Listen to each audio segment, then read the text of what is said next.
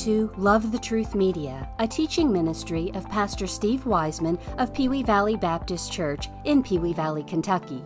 To learn more about the many resources available through this ministry, visit us online at lovethetruthmedia.com. And now, here's Pastor Steve to bring you a special message from the Word of God. Turn in your Bibles to 1 Thessalonians chapter 4. 1 Thessalonians chapter 4. We're going to have a special message. We've interrupted again our verse by verse study in 2 Corinthians uh, here um, to talk about uh, the second appearance of God, Christ Himself coming again. Amen. And uh, so last week we talked about uh, the first appearance of Christ uh, on that which we celebrate uh, this time of the year as his birth, uh, coming in the form of a man, made himself of no reputation, became obedient to his Father in heaven, even unto death itself. Now we're going to talk about the fact that he's coming back and what we should be doing in the meantime. And uh, let's take a look at this. Stand with me if you're able. We're going to read this passage out of 1 Thessalonians, beginning um, chapter 4 and verse 1. And we're going to uh, skip a little section there uh, in this. Uh, as you note in the bulletin there, we're going to read down to verse 7 and then move to verse 13. So 1 Thessalonians chapter 4, beginning um, with verse uh, 1, the scripture says, Furthermore, then, we beseech you, brethren, and exhort you by the Lord Jesus, that as you have received of us how you ought to walk and to please God, so you would abound more and more.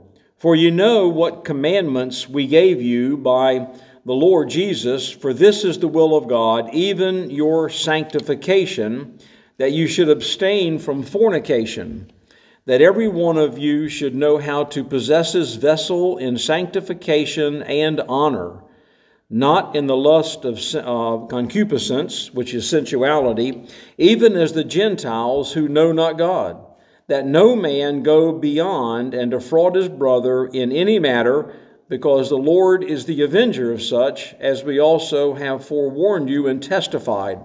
For God hath not called us unto uncleanness, but unto holiness. Look down to verse 13. But I would not have you to be ignorant, brethren, concerning them which are asleep, that ye sorrow not, even as others who have no hope. For if we believe that Jesus died and rose again, even so them also who sleep in Jesus will God bring with him. For this we say unto you by the word of the Lord, that we who are alive and remain unto the coming of the Lord, shall not literally precede here, prevent, them who are asleep. For the Lord himself shall descend from heaven with a shout, with the voice of the archangel, and with the trump of God, and the dead in Christ shall rise first. Then we who are alive and remain shall be caught up together with them in the clouds to meet the Lord in the air, and so shall we ever be with the Lord. Wherefore, comfort one another with these words. Father, we're thankful for your word. Literally, uh, it is the truth. Father, we depend upon it, we search it, we, we allow it to penetrate our hearts, we believe it, and Father, we act on it. Uh, we want to be faithful in the days ahead to do this which you say Father, may it be a reality in each of our lives, for it's in Christ's name that we ask it. Amen. You may be seated. So I titled our message today, uh, The Second Appearance of Mighty God, of the Mighty God, if you will.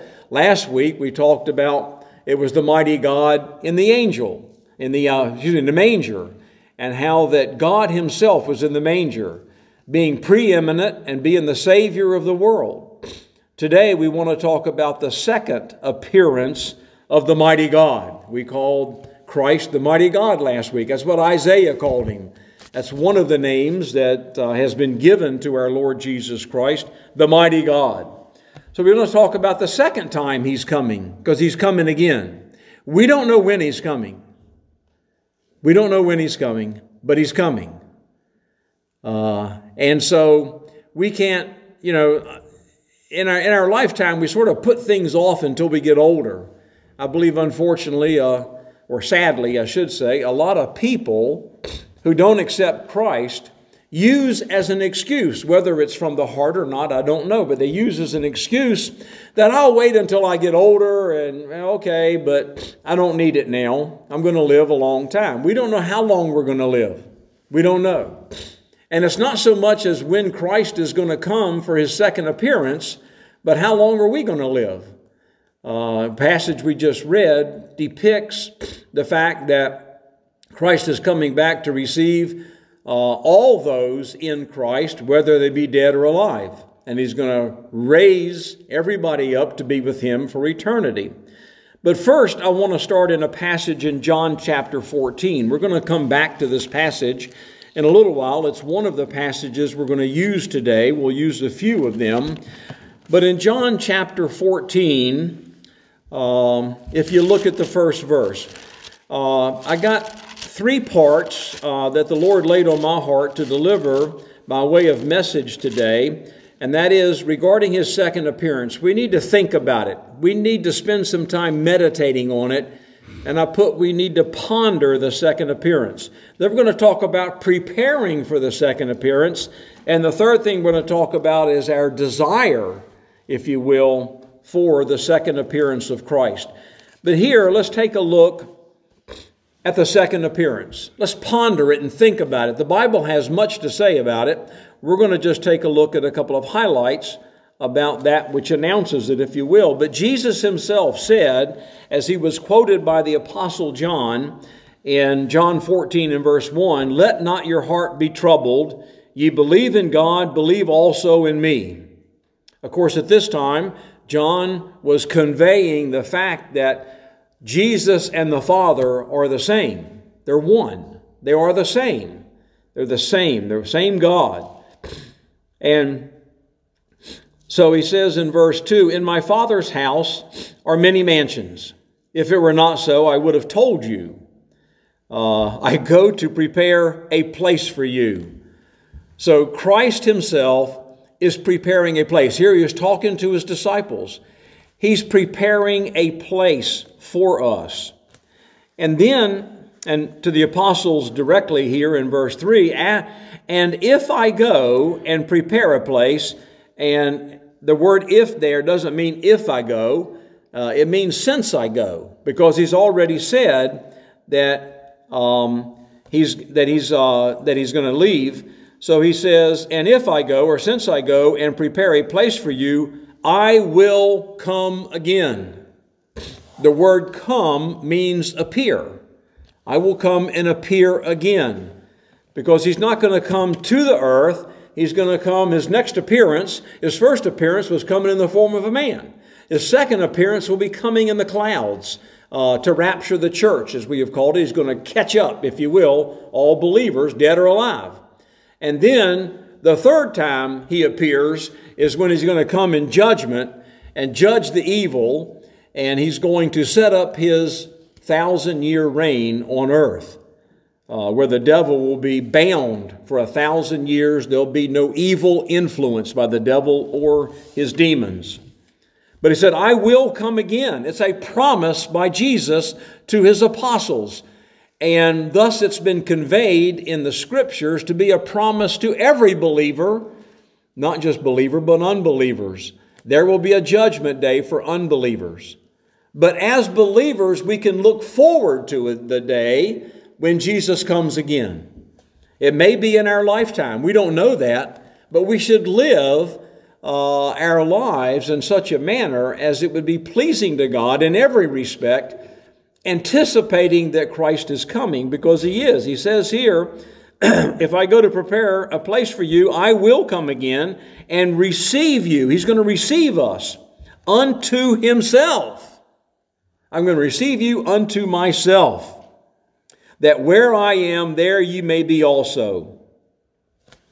Now, in verse 4 it says, and where I go, you know, and the way you know.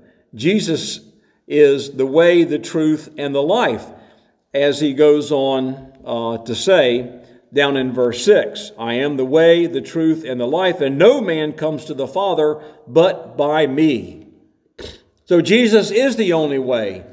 Uh, I was in the presence of somebody not long ago and said, Well, you say Merry Christmas, you ought to say Happy Hanukkah to people. I'm not saying Happy Hanukkah to anybody. I'll say Merry Christmas, uh, understanding that Christmas, as we celebrate it, is the birth of Christ. And it doesn't matter that it's the, the day that he was born, the fact that we celebrate his birth, because it was so crucial for our salvation. Our salvation could not have happened because that was God's plan to do it that way. And so we should celebrate the birth of Christ, and we should celebrate, if you will, as we do in the season of Easter, as we call it, the resurrection of Christ from the dead. Because he went and paid the price for our sins and had to die, because without the shedding of blood, there is no remission of sins. But Christ will come to receive us one day.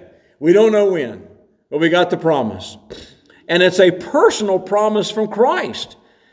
As, as uh, John quotes him here in verse 3, Christ says, I will come again and receive you unto myself. It doesn't get any better than that. It doesn't get any better. You know, holidays and, you know, we usually have some visitors in the house and we prepare our place so that we can receive visitors. This is nothing like that. But look at all the preparations we make. And the more important the visitors, the more preparation we make, right? Uh, well, since Christ is going to come again and receive us unto himself, we should prepare for that day when he comes. We should prepare. Now, if you take a look over at um, 1 Corinthians 15, uh, 1 Corinthians uh, chapter 15, and go down towards the end of the chapter to verse uh, 51. 1 Corinthians 15 and verse 51. So if we're going to ponder his second appearance, number one, we realize Jesus said himself, I'm coming again to receive you unto myself. And we understand from that passage that we read over in 1 Thessalonians chapter 4 in verses 13 to 17 that Jesus talked about the fact that he's going to come in the air and those who are dead in Christ or sleep in Christ, as the scripture calls it, because those who are, as we call dead, if they're, if they're Christians, they're actually sleeping according to the scriptures because the spirit and soul are not with the body. The body is just waiting for the second appearance of Christ. And when he comes, they're coming out of the grave. The soul and spirit will be joined with the body. That's what's going to happen and those who are alive in Christ shall join them in the air, and we shall ever be with the Lord. So he's going to come for us. First Thessalonians chapter 4 tells us how that's going to happen. And chapter 15 of First Corinthians, in verses uh, 51 and a couple of verses after that, tell us what happens to us at that time. And in verse 50, because 1 Thessalonians 4 tells us that we're coming out of the grave if we've already died, and that will be the vast majority of believers. There will be, there will be those who, on the day of his appearance, that will just go up and they'll be um, changed in the twinkling of an eye uh, from where they are, along with the dead. But in 1 Corinthians 15 51, here's what happens to us. Behold, Paul wrote to the Corinthians, I show you a mystery. Mystery is that which was previously unknown and here is being revealed as God revealed this through Paul, not only to the Corinthians, but to the church, to the world. Says, Behold, I show you a mystery. We shall not all sleep. Uh, again, that word sleep for Christians means die. We shall not all die because there will be some who will be alive uh, when Christ appears in the air. So, not everybody's going to sleep, but we shall all be changed, whether you're in the grave or not in the grave. We're all going to be changed. And so those who come out of the grave and those who are alive, we're all going to look alike. We're all going to look alike. We're going to have a transformed body that is going to be perfect, fit for heaven to be in the presence of our Savior who is perfect. So, but we're going to be changed. We're all going to be changed in a moment, in the twinkling of an eye. Um, and uh, a moment is a very small uh, period of time. The twinkling of an eye, twinkling is a rapid movement. It's like the gushing of a wind, if you will, or, um, or maybe the swiftness of a bird in flight. That's what twinkling is. The twinkling of an eye, the eye is the uh, of the observable parts of the body, it's the fastest thing that moves in the body. So the twinkling of an eye is referred to be it's entirely quick, and it refers to the eye, which means the eye probably will miss it. The world's going to miss us. Boom, we're going to be gone. And they're going to, you know, they're not going to have an instant replay. they might be a lot of security cameras around and they're going to see people disappear. But even that, I don't know if the cameras will be able to pick it up. But in a moment, in the twinkling of an eye, what's going to happen at the last trump? Because he read over there in 1 Thessalonians chapter 4 that at the in the last trump, in the, if you will, that Michael the archangel will come and blow the trumpet, right? So at the last trump, for the trumpet shall sound, and the dead shall be raised incorruptible that means perfectly holy, and we shall be changed. Uh, for this corruptible must put on incorruption, and this mortal must put on immortality. We're going to be transformed into a body that will last forever. Forever is a long time. People fear death, thinking that's the end of their existence. Before the, before the believer, eternity is a blissful period that never ends. We can't even call it a period, it's just time that never ends. For the unbeliever, there's a period of time that never ends, but it'll be nothing but agony and defeat and pain and torment for eternity. But the believer, we're going to put on immortality, that is eternal life. So in verse 54, so when this, un, when this corruptible shall have put on incorruption, and this mortal shall have put on immortality, then shall be brought to pass the saying that is written, Death is swallowed up in victory. Jesus proved victory over death at the grave when he died for our sins, rose out of the grave, and now is in the portals of heaven. And when he appears again, it's too late for people to think, oh, oh, I should have trusted in Christ. It's going to happen so fast, they don't have time to think. There's not going to be time. But those who know Christ, when He comes, when in, uh, in the air, and He appears, we're going to be changed just like that. And we're going to have uh, an incorruptible and immortal body with soul and spirit and will be victorious over death. Now that's pondering the second appearance of Christ. Now let's take a look at preparing, if you will. So look to 1 Peter chapter 1. So are there some preparations we should do? Yes, yes. Specifically directed by scriptures. We understand generally, generally, and it's just as true as any of the passages that we'll read today, that we are obligated by God to live a life that is faithful to Him as His children, is faithful to Him. So we're going to talk about that. And there's a word that we're going to use here in 1 Peter chapter 1, uh, verse 7. Uh, and let's read that verse. 1 Peter 1 7. That the trial of your faith, being much more precious than of gold, um, uh, that perisheth, though it be tried with fire, and that refers back to the faithfulness during trials that is described just prior to this verse.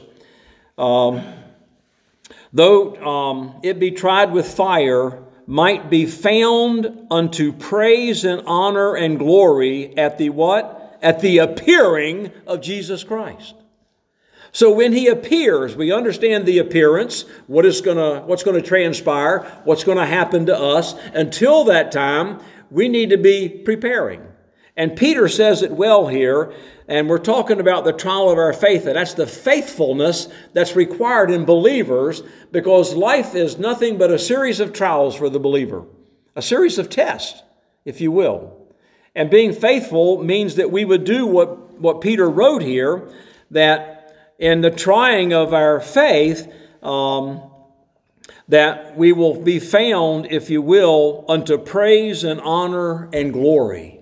Praise and honor and glory at the appearing of Christ. Now look uh, at verse 8 where it says, Whom having not seen, has in, have any of us seen Christ? No. No, we haven't seen him. Who, whom having, and, and neither had the audience that Peter was writing to here, whom having not seen, you love, in whom though now you see him not, yet believing, you rejoice with joy unspeakable and full of glory because we love Him. We haven't seen Him, but we know who He is. And we know He's the way, the truth, and the life. He's the way to eternal life, and He's the only way. And we put our faith in Him. So uh, skip down to verse 13 in this chapter. It says, Wherefore, gird up the loins of your mind. The loins of your mind. You know, when they went to battle in those days, uh, the warriors, uh, the armies, they, they wore garments and then they would loosen them up so they could be agile and quick and, and they could handle all of the tasks necessary in order to fight a battle. And so they could move quickly and swiftly and, and, and be able to counter attacks, if you will. And here it's not it's used as a metaphor talking about our mind. You know, the scripture says in Philippians chapter 2 that let your mind, uh, let this mind be in you, which is also in Christ Jesus.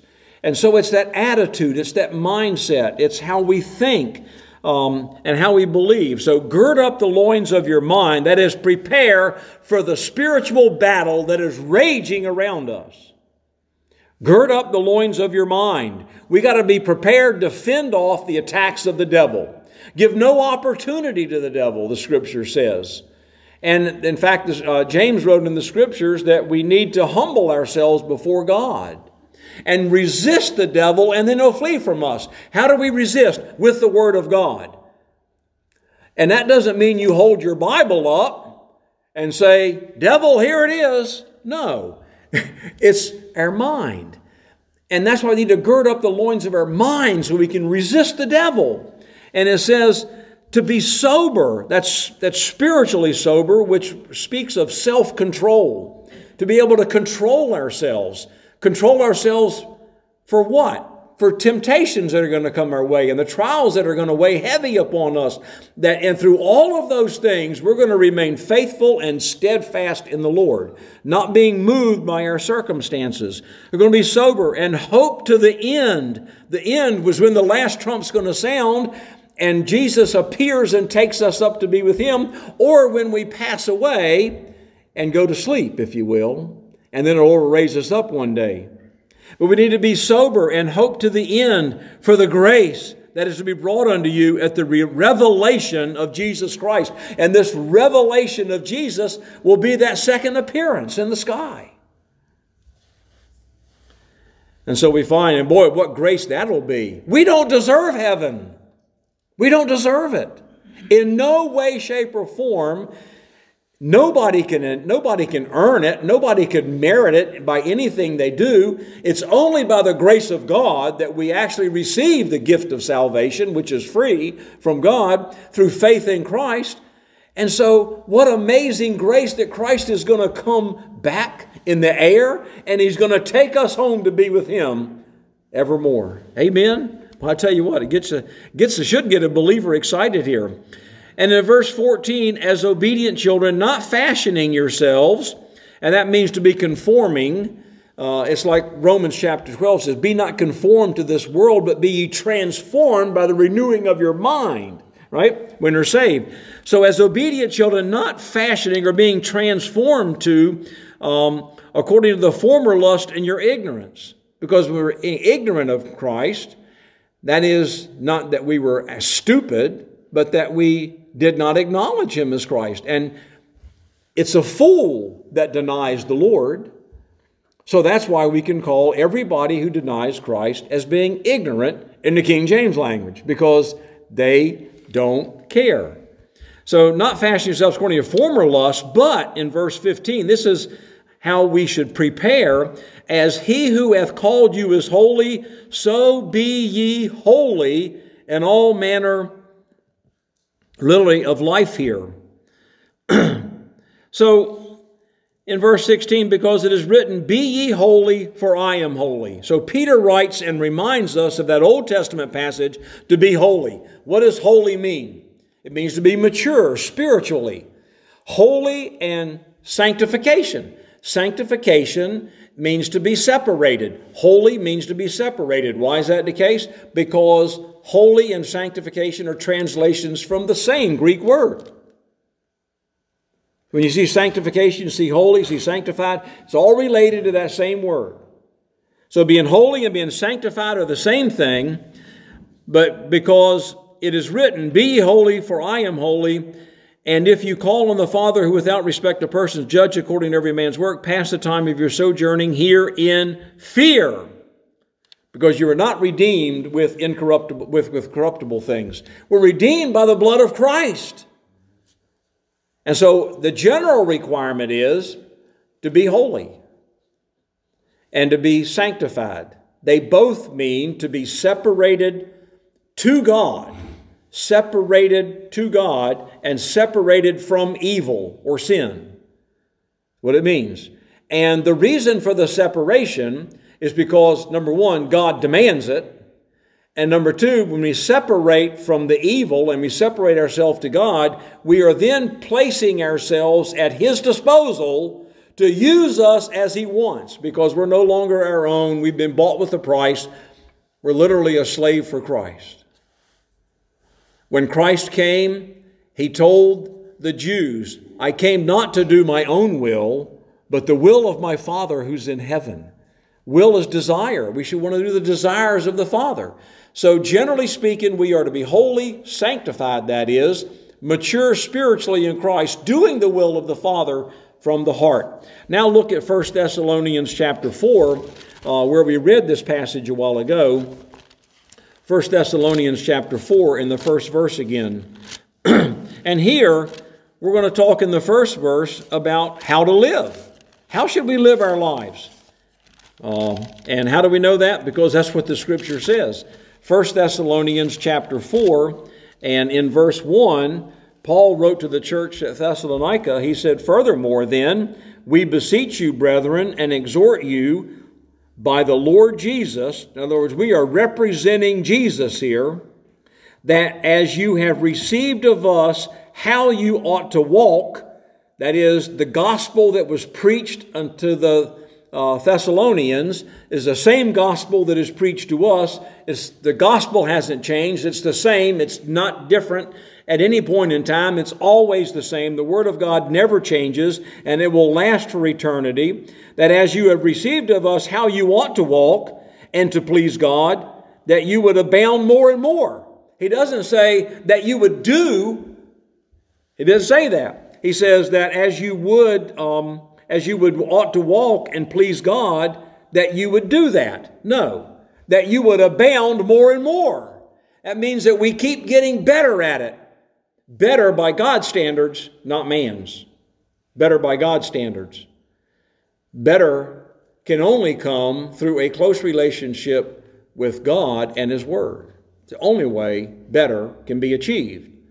So we, we make ourselves available to God, and that means we make ourselves available for Him to communicate to us. And God doesn't speak to us today in an audible voice, so how's He going to speak to us? Through His Word.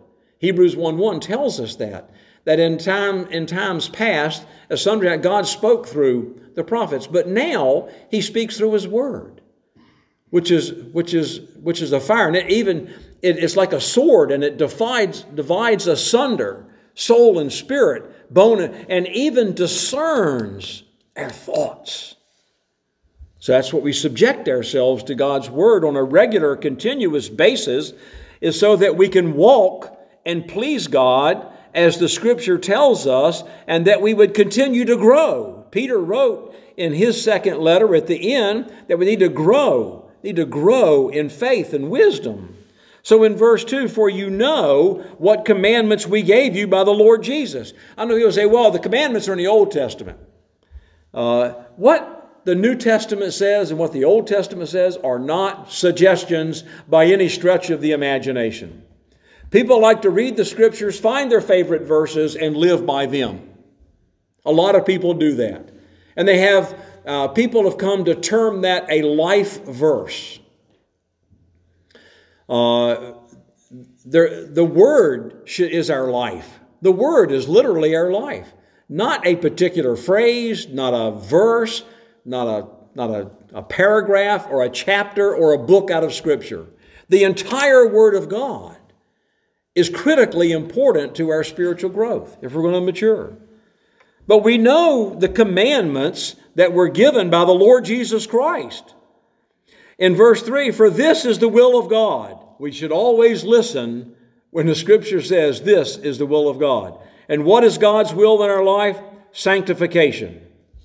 Sanctification. And this is a passage there at the end where we have read where the appearing of Christ is all important. Uh, and like we read verse 13 it, regarding that, and it says, But I would not have you to be ignorant concerning them who are asleep, that, are, that, that you sorrow not, even as others. For if we believe that Jesus died and rose again, and sleep in Jesus, will God bring with him? For he's going to come and receive us unto himself, right? So in verse 3, this is the will of God, your sanctification, your separation from evil Ephesians chapter 5 uh, really describes that separation so thoroughly from evil.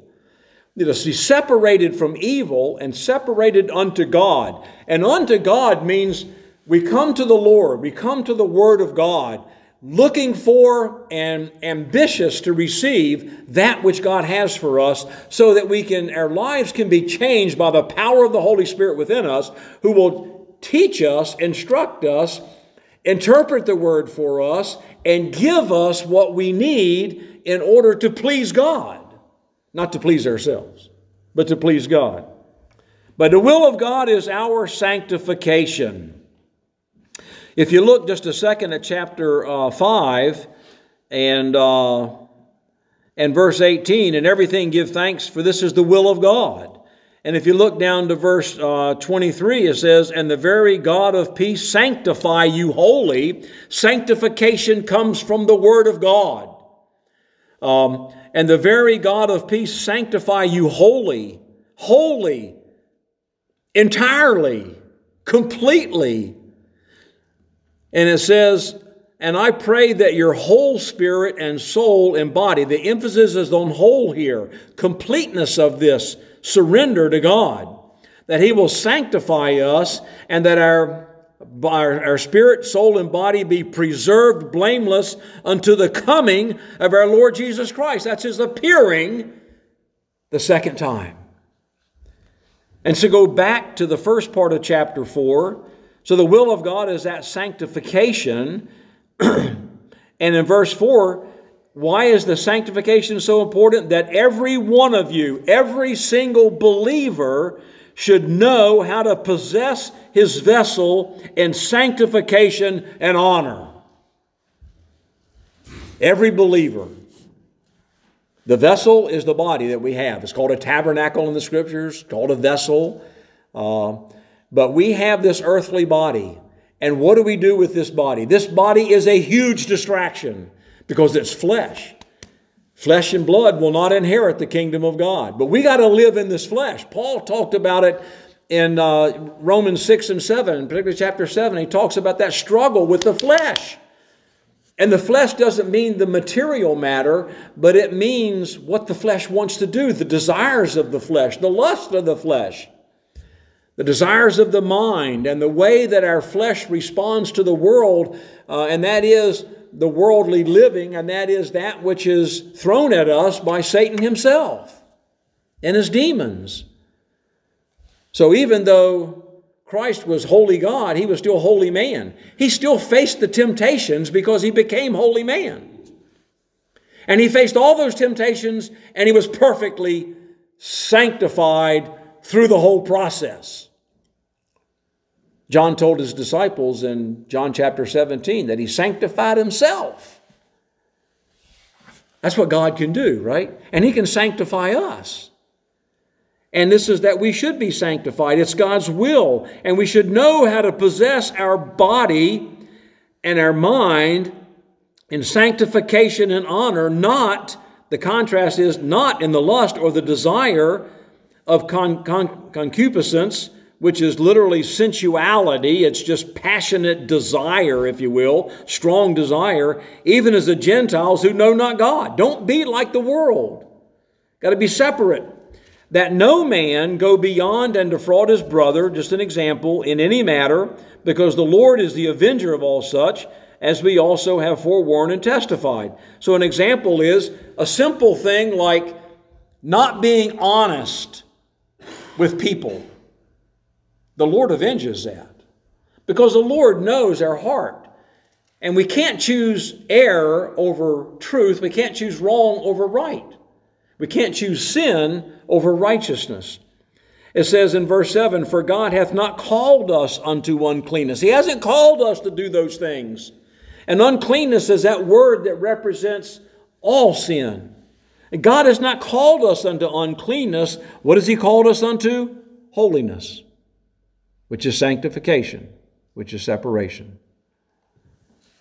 And again, this is the passage that's preparing the hearts. And the, in the last verse of this chapter says, Comfort one another with these words.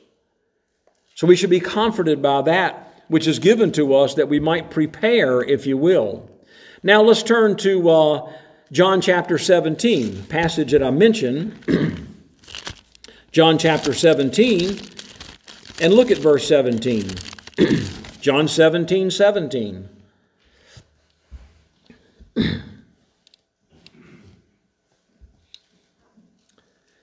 Jesus told his disciples, he says, uh, he's praying to the Father here, and he's speaking this in the presence of the disciples, but he's speaking to the Father, saying, Sanctify them through thy truth. Thy word is truth. Sanctification comes from God. God is the Word, and we're sanctified through the Word. That's how we learn to be separated from the worldly things and set apart for the holy things of God, and our lifetime should be a, a movement that moves us as close as we can possibly get to being wholly sanctified. When we're when, when the Lord appears the second time to take us up in the air, we will be completely separated from the world. So our sanctification and our righteousness becomes pure at that point. That's why we're incorruptible and immortal at that point. But if you look down to verse 19 here, it says, And for their sakes I sanctify myself, that they also might be sanctified through what? The truth. We see that twice there. The truth is the Word of God. We're sanctified by the Word. We're not sanctified by just living better. We're sanctified by doing that which the Word instructs us to do. Because we, we might get it confused that doing better means better by the world standards. That's not how we should live. We should live in accordance with the commandments that Jesus has given us. And we find those in the New Testament. We find them uh, in, in the four Gospels, but we find them as Paul and others wrote about the life of Christ and the principles and the commands that he taught. So it's not by living a life that's better in people's eyes, in our eyes, or that which we read and might know naturally or understand by the human mind. It's that which God has in His Word. That's why the Word sanctifies us. It sanctions, if you will, that which we do that is consistent with the Word of God. And God abhors the things that aren't consistent with the Word of God. So, we are sanctified by the Word. And then look at 1 Timothy uh, chapter 6. 1 Timothy chapter 6.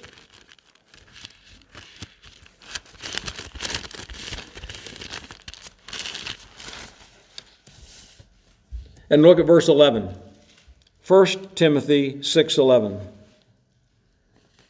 And here the scripture says, But thou, O man of God, Paul addressing Timothy, he says, Flee these things. Talk about all those evil things that represent worldliness and follow after. That means to pursue righteousness, godliness, faith. That's faithfulness to God, love, patience, meekness. Fight the good fight of faith. Fight the good fight of faith. And that's how we fight the good fight of faith. And lay hold on eternal life unto which you were called.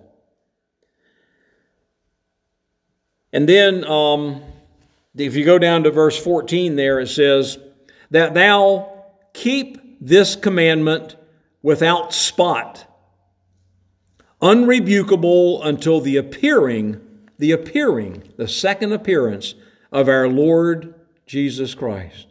Keep it, guard it, be obedient, if you will.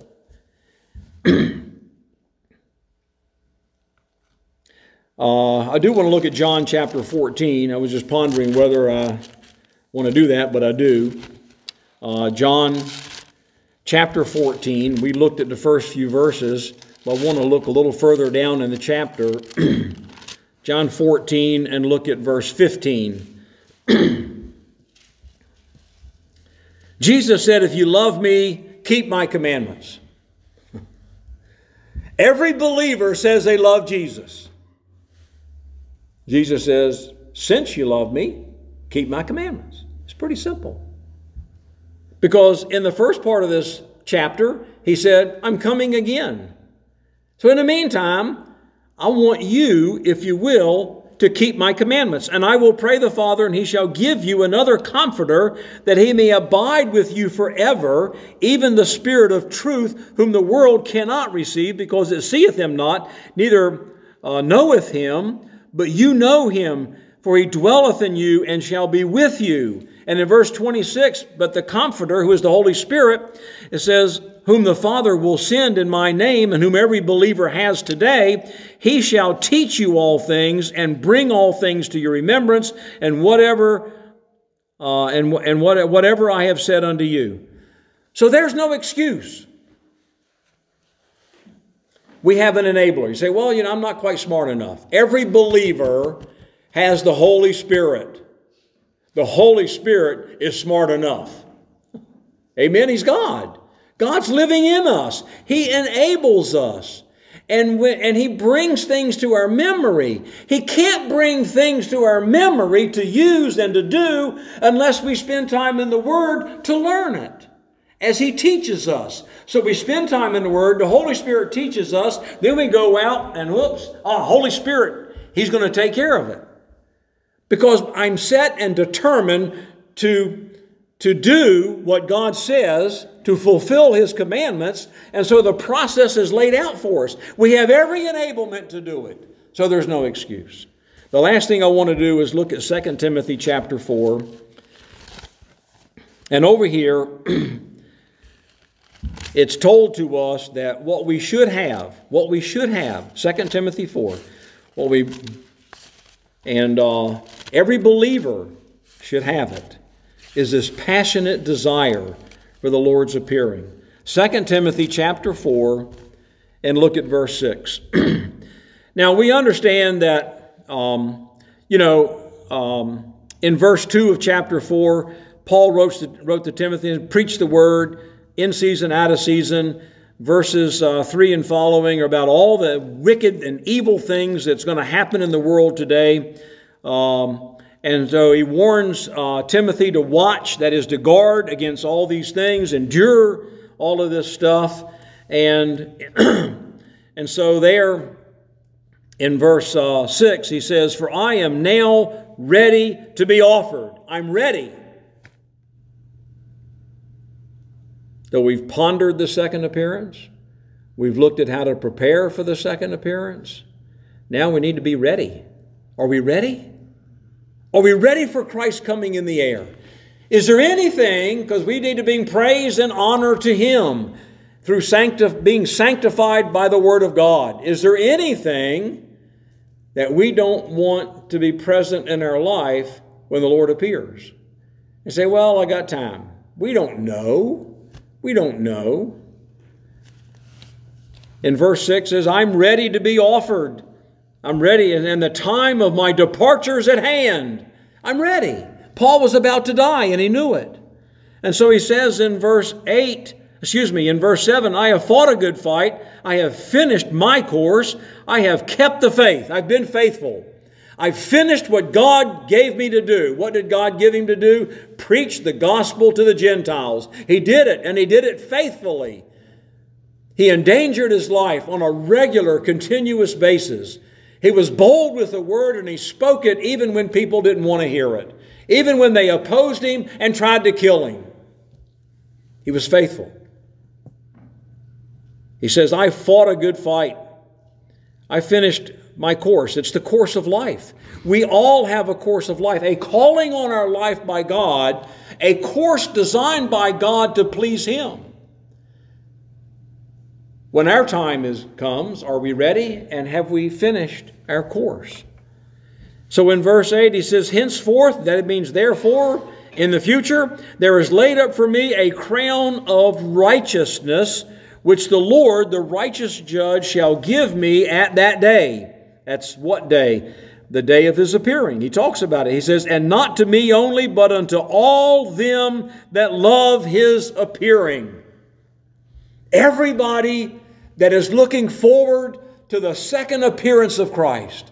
We looked at the first appearance last week and talking about the birth of Christ, how he came and was a baby in a manger, born of a virgin, destined for a cross where he would pay the price of shedding his blood for your sins and mine and the sins of the world to be the Savior of the world, the only Savior of the world, the way, the truth, and the life. What we find here is this passage of Scripture where Paul writes, I'm ready, I finished faithfully that which God gave me, and the crown of righteousness, uh, no doubt, is eternal life. That's what we get when God comes to get us. That's the most desired thing in this, in this whole wide world is life and life itself. Everybody wants to live longer and live healthy. Heaven is the place where that happens. But you got to give your life to Christ in order to get there. You've got to surrender. There's no other way around it. I want to look at one verse in closing Philippians chapter 3, verse 20. Lord laid it on my heart. Philippians chapter 3, verse 20. And there's a word here that doesn't mean today what it meant when it, the, the script, the King James uh, translation was made and it's the word conversation. For our conversation. Conversation is a word that means citizenship. Citizenship. Our passport, if you have one, if we have one, says we're an American citizen. We're citizens of the United States of America. For our citizenship is in heaven. We have an invisible yet real passport that we are citizens of heaven, not citizens of the United States of America. More important than living in America is our, our we are our home is not this earth, but even though we haven't been there, that's our home. Because our Father is there. Amen. Our Father is there. It says, For our citizenship is in heaven, from which also we look for the Savior. We look for the Savior, the Lord Jesus Christ. We're looking for Him. Can't wait till He comes to take us home. Are you homesick for the Lord? Because when the Lord appears in the sky, we're going to be received by Him if we put our faith in Christ. And we're going to forever be in the presence of Almighty God where everything is absolutely per- perfect. Are we looking for the Savior? Are we desiring to be with the Savior? I think a lot of times the thought that I heard voiced by a man a long time ago who was the pastor, and he said, um, I want to go to heaven, but I don't want to be on the next bus. Uh, you know, it's uh, That, Paul would have never said that. If they had buses back in those days, Paul would have said, I want to go to heaven and I want to be on the next bus. That's what it means to look for the Lord Jesus Christ, our Savior, to look for Him. He's coming again. He's going to appear in the sky. And we want to be on the next bus to get there. Because that's to be in the presence of our Father. We're in a many sense, in, in many in many ways like Lot's wife. There's so much here on earth that holding us from looking for the Savior. And we're sort of, oh, he's going to come someday. We're too busy here. We're not spending time in the Word, being sanctified by the Word, looking, living faithfully for the Lord, and looking for Him to come. We got all this stuff to do. That's what Lot's wife, she was being taken out of Sodom and Gomorrah, and she looked back on it because that's where her heart was. That she wanted that. I think there are people that live in relationships too long because they, they, they love that when they should be loving the Savior. We gotta, we gotta do it God's way. And we've seen here today the second appearance. We saw the first appearance. It was the mighty God in the manger who was preeminent, God Himself, Savior of the world. And now we ponder His second appearing. Prepare for it, be ready for it, and set our heart's desire on His appearing in the sky. He's coming. When, when is he coming? When is he coming? Is he coming today? There was a guy in the church we got saved in, and he was he was always talking about when's the Lord coming? He's coming soon. Because he was looking for it. It's not that he had an attitude of being right or being wrong. He was biblical about his thought process. The Bible says he's coming soon. We don't know when soon is. Could be before we close the service today or before we get home from church or eat that meal that maybe is prepared or we're going to prepare when we leave here. The Lord Jesus is going to appear again. And we don't want to be, I don't know everybody's heart, but we don't want to be we don't want to be around after he appears a second time, not on this earth. If we are, we're going to see his third appearance. and that ain't going to be a pretty picture It's going to be horrible. Let's look forward to the Lord's return. And what it really means to look forward to his return is living our life in such a way that that in itself shows we're anticipating his return anytime now. And then God will be pleased. He'll be praised and honored by our life. Let's stand together. Father, we thank you for your word and for the message which you've given us today. Father, this time of the year is not just about a celebration of a holiday, but it is about our Lord Jesus Christ, the fact that He appeared the first time on earth, and then that is, He is going to appear again and come and take His children home. And Father, we understand that only because you love us and have laid out a plan of salvation, that through your grace we can be saved through faith in Christ not on any merit of our own. Father, because of that, we can, with, with good and full conscience, look forward to the Savior by living our lives so that they would be pleasing to you according to your word as you sanctify us through your word. We give you praise and honor as we leave here today and go our separate ways, that, Lord, we will continue to ponder and prepare for the next appearance of our Lord and Savior, Jesus Christ. For it's in Christ's name that we ask it. Amen.